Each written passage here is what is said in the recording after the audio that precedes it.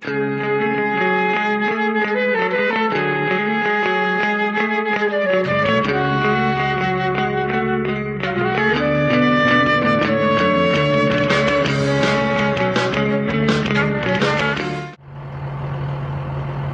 everyone, Shadefyre here, and this is bonus episode number one for Stalker Clear Sky. Today we are going to be competing in the loner side of the Loner Bandit faction wars. Exciting, I know. So, we already have the option to join the loners, since uh, for the main story we had to do some missions for them. The Bandit episode is going to have to be a separate episode because while the actual faction battles are the same, uh, you know, we're fighting over the same points with uh, the loner base being here, this and this being the uh, first points we have to capture for the loners, and the second last we have to capture for the bandits, and then these two up here by the entrances, and then this is the bandit base up here. So basically, um, depending on which side you are, you start at your base and you fight towards the other base until you kill everyone at the other base, and then you've won the faction wars. Obviously, it's pretty simple with these two since they're not very big factions and they're not very far away. Duty and Freedom is going to be a different story.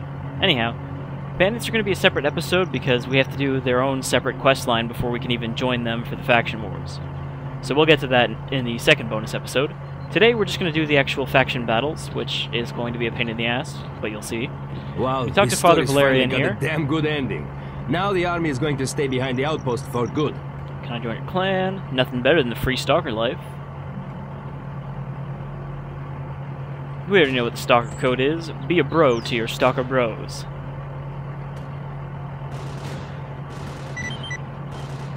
Alright, so this should give us... Okay, yeah, it actually worked this time. We have to capture this right here as one of our faction uh, goals. You can see here's your four goals right here. First one is achieving superiority, which we already do because there are a lot of loners and a lot of bandits. The second is to capture the two entry points to the garbage. And then the third is to get the actual points in the garbage and then to wipe out the bandits. Alright, so we've got our two objectives now. The other one just popped up, which is this one to hold that, but we already have that one captured, so we're going to focus on the one we don't have captured at all yet. Uh, I've got a special loadout for this. We're not going from our main game save, so we have some different stuff right now. We're going to be using the Abakan today, because we didn't actually use it in the main game at all. Now, I did mention this the one time I picked one up, but the Abakan has a special mode. Instead of just automatic and single shot, it also has a two-round burst, which is exactly like single shot. Now it won't be so easy for the bandits to get to Nope. the garden. But it's not over yet. We need to start getting Okay, ready for they already more captured that one while we were on the way. teach those assholes a lesson they Looks won't like our forget for a got long lost. time. We gotta check it out and see what's up. Okay, there's still bandits up at the other one, though, so let's see if we can get there before they, uh... worry, boss. get We're killed. going. It ain't gonna end that easily, Let's I'm grab a vehicle. Alright, so by the time I got here, they had already repelled the bandits. Not really surprising. Uh, now, one thing I want to cover here is you can actually see the faction squads on the map are a different color. Uh, well, that one's not the best idea because he's on top of the arrow. But uh, if we look at, yeah, this guy here, you can see this one is a sort of darkish green, and that one's a, oh, come back. This one's a really light green. Those are faction-based squads. They will respawn at your base and head outward to the point. Enemies also have them. You can see this light red bandit squad here, which is eventually going to attack this uh, outpost down here. And until we kill them, uh, we can't actually progress into the garbage. Even though our squads are already doing it on their own. You can see this one's just kind of standing up there. So, uh, yeah. I might have mentioned this way earlier when we were doing the Faction Wars tutorial for the Clear Sky, but uh, the Faction Wars don't really work in this game. You can see a lot of times squads will just get will just stand around like this or get lost. Oh, those bandits finally make it through. Yes, they did. All right, let's drive back to uh, that other outpost again. Probably better to drive this UAZ than the tractor I drove over here.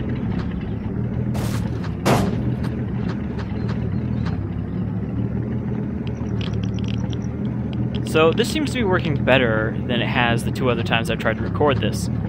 Because a lot of times you'll clear out a point and it'll say, you know, hold position until your squad comes and secures it. However, that squad will just not show up for like an hour of real time. I've literally left it running for a while and had them not show up. because they'll get distracted by every fucking group of mutants and stuff on the way. Even if they're not directly in their path, if they're just anywhere nearby, they will go after them for some reason. Close enough. Let's uh, head towards gunfire. Right over this big old radioactive hill. Oh shit. Let's not step on those.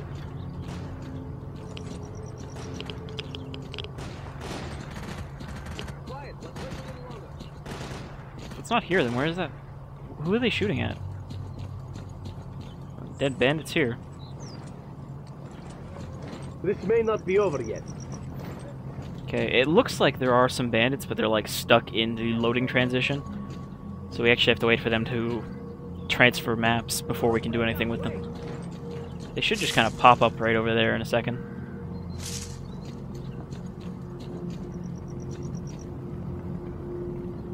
It's a really good place to be guarding, just staring at that uh, hill. If I'm you sure- got something to say, say it. If we have to worry about radioactive moles, you'll be set. Yeah, now turn your back to the, uh, I'm Enemies. all ears. Don't break up, wait! I don't know where this uh, tricked out exosuit guy came from.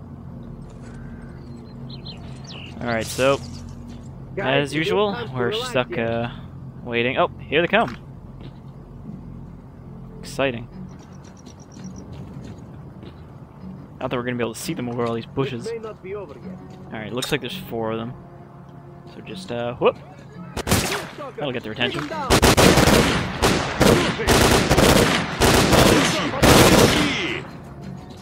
Okay, I think most of them are already dead.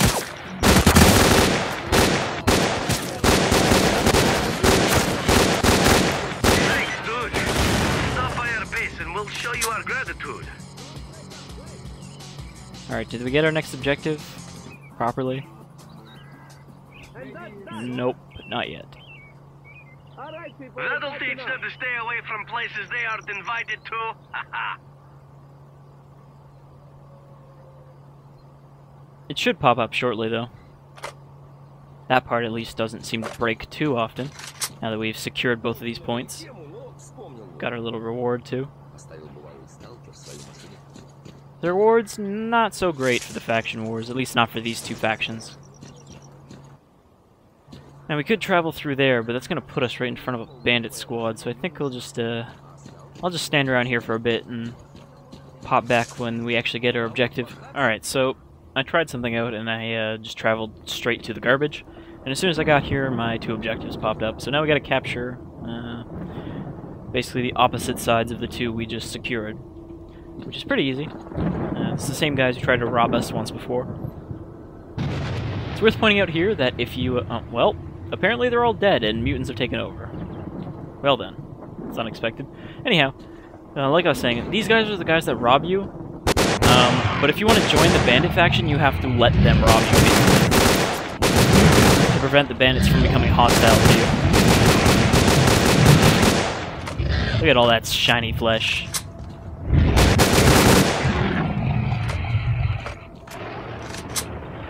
Not sure if I pointed this out, but certain uh, mutants have stronger versions that travel with them. You can see this is just the regular flesh here, but uh, this one with the grizzled old face is a tougher sort of alpha flesh. Just a neat little detail in the way their A-life system works. Where did that snork go? I can hear his gas mask.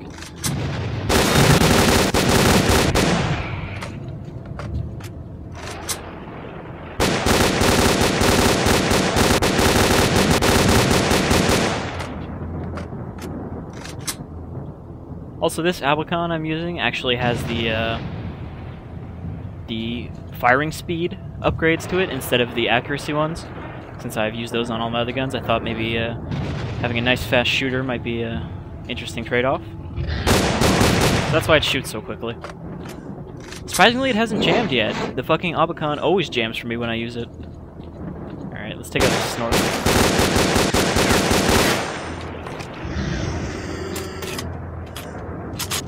We also got our 1911 here.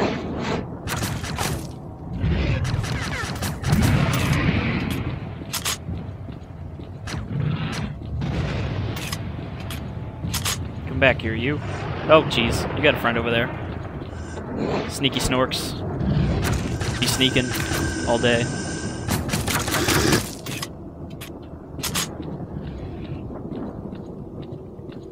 Oh, hey buddy. Alright, point is secure. I don't know what happened to that squad that was loading in. It just sort of vanished. Alright, this point's clear. Hopefully the stalkers will set out to take over. We're gonna go clear the other one. Switch to fully automatic. Because we're just gonna dump on these dudes.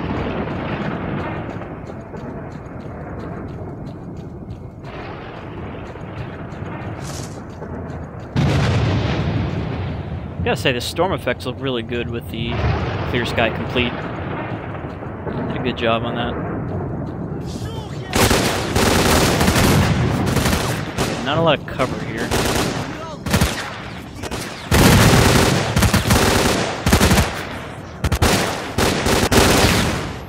Oh, that almost killed us. Gotta remember to save after we take this point so I don't have to redo this again.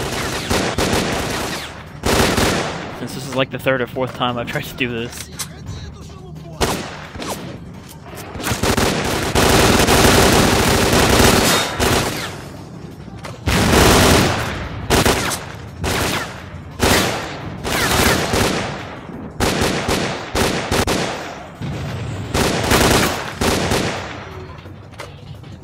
Is that all of them? I Could have sworn there was one more guy over here. Nope, I guess that's all of them.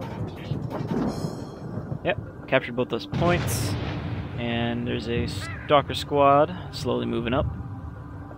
Only one though. It's unfortunate. Oh, jeez. Something just loaded in the game.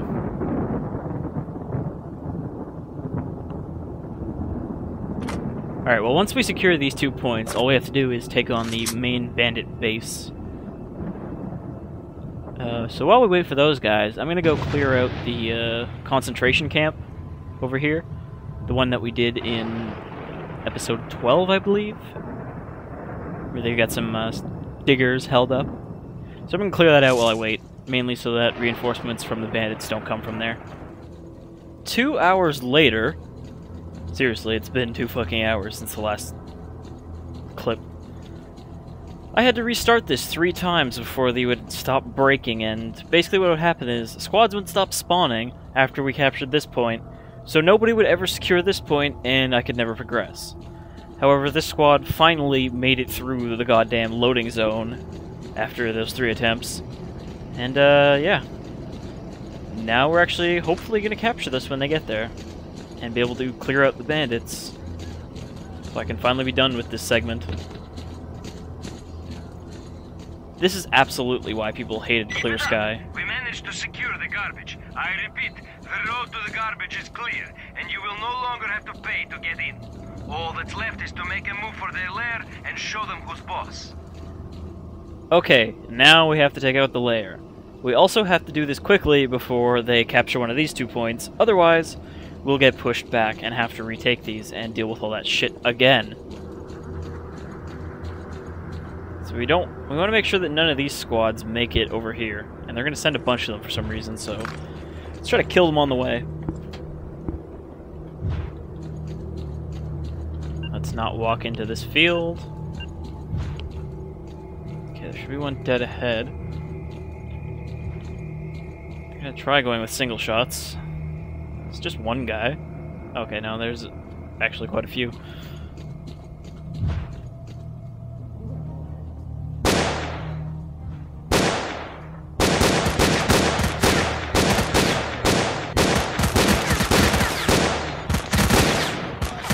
Maybe I should have gone with accuracy anyway. Because I do not like having to fire this many shots to hit one guy.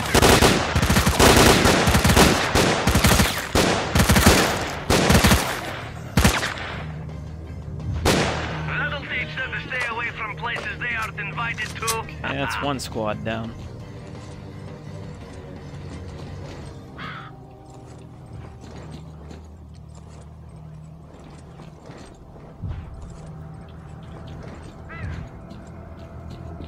Man, isn't Faction Wars fun?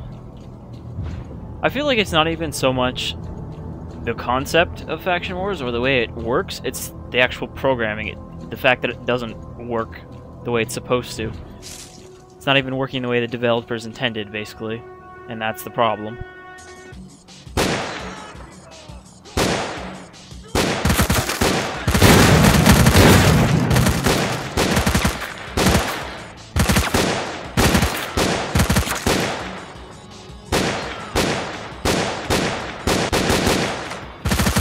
Also, 13 episodes in, I finally realized I should probably remap my first aid button.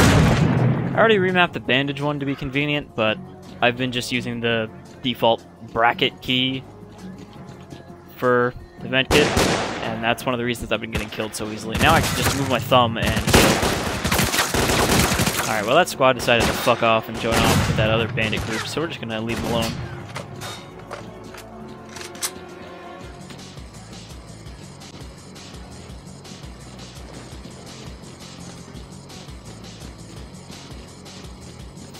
Alright, let's try to clear this out pretty quickly. There's a lot of guys here, but they're kind of in a bad place for defending. First we gotta get these guys.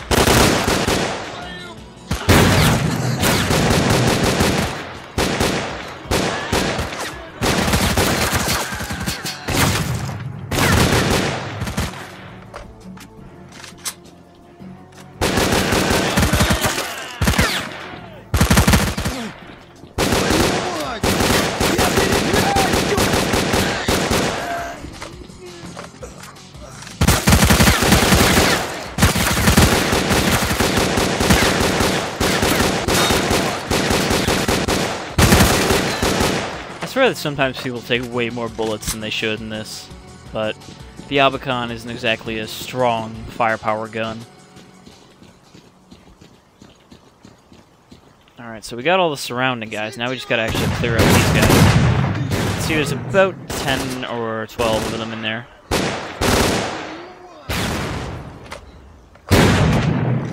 Which includes, you know, the, the bandit leader, the bandit merchant, and uh, bandit technician.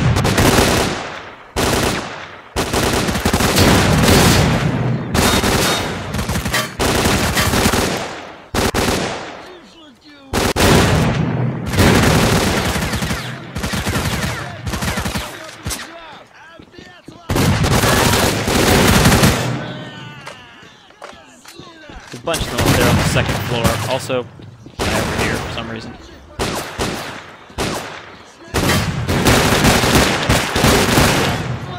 Unfortunately for him, he's only carrying a pistol. I think that might have been the bartender.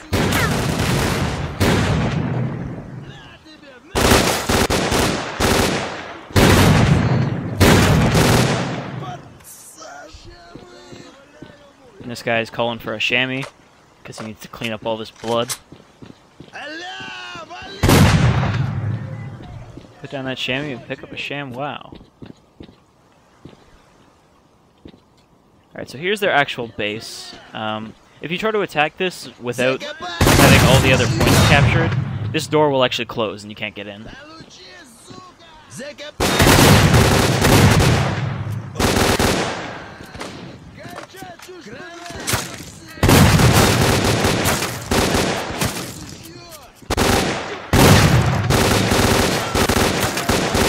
As I pointed out, this isn't actually a great defensive position for them because they're all spread out in places where we can uh, take cover. A lot of uh, good spots to hide here, so... uh, well, he just fucking murdered his buddy by shooting him in the back of the head. Good job, I guess.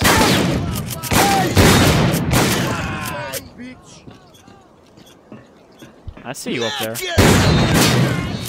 Also, maybe not a good idea for guys with shotguns to be up here on the second floor. Not exactly uh, the best use of your troops. Okay, so here's where the merchant would normally be.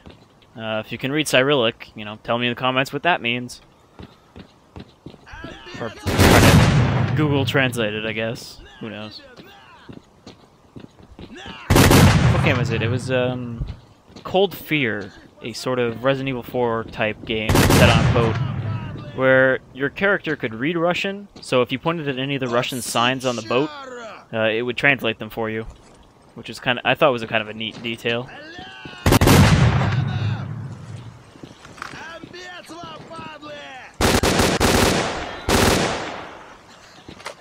Uh, one guy left. I believe that might be the leader hiding in here. No? Okay, I think we already killed the leader then. He doesn't look any different, so it's kind of hard to tell them apart.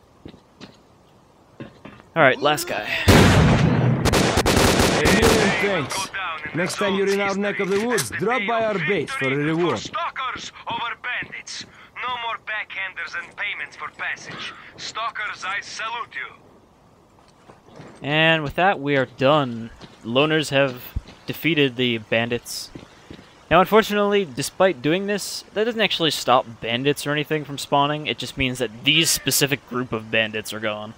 So there's still, as you can see, bandits everywhere. Well, that's not a bandit.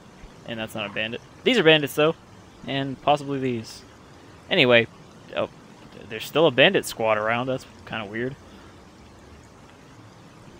I guess, yeah, they still have some squads despite the fact that we have taken their base. So yeah, that's uh, that's the end of the loner side of the faction wars. Now let's just mouse over to see what our reward is.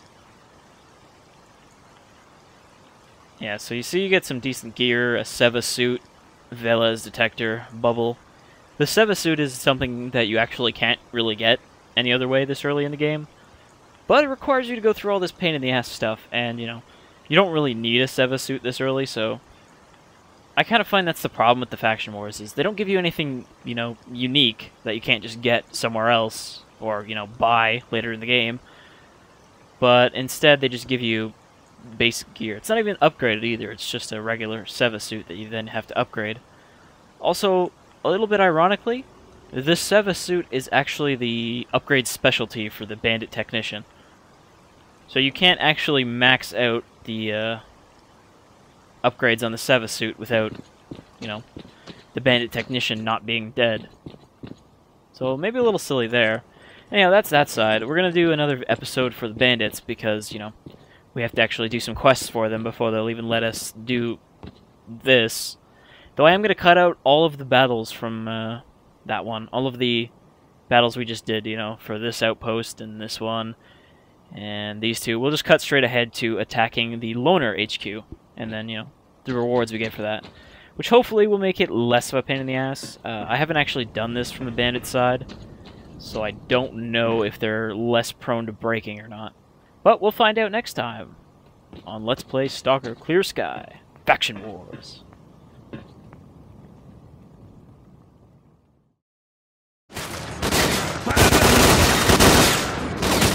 Alright, already.